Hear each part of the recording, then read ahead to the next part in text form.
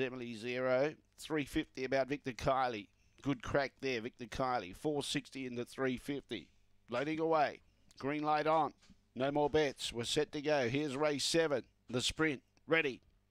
Away, Emily Zero began okay, but outpaced by Dakota Crease. Favourite got into a bit of trouble. Magic Begins has been checked out of it.